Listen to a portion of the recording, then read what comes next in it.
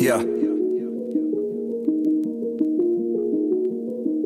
I wake up every morning with my head up in a daze. I'm not sure if I should say this, fuck, I'll say it anyway. Everybody tries to tell me that I'm going through a phase. I don't know if it's a phase, I just wanna feel okay. Yeah. I battle with depression, but the question still remains Is this post traumatic stressing or am I suppressing rage? And my doctor tries to tell me that I'm going through a phase. Yeah, it's not a fucking phase, I just wanna feel okay.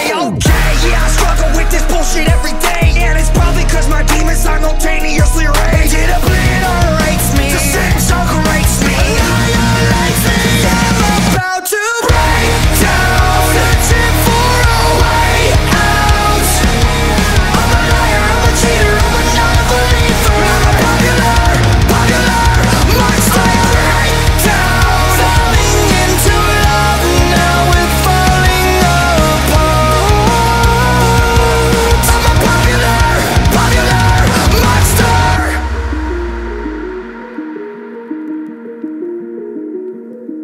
I think I'm going nowhere like a rat trapped in a maze. Every wall that I knock down is just a wall that I replace. I'm in a race against myself. I try to keep a steady pace. How the fuck will I escape if I never close my case? Oh my god, I keep on stressing. Every second that I waste is another second sooner to a blessing I won't take. But my therapist will tell me that I'm going through a stage. Yeah, it's not a fucking stage. I just wanna feel okay. Okay, motherfucker.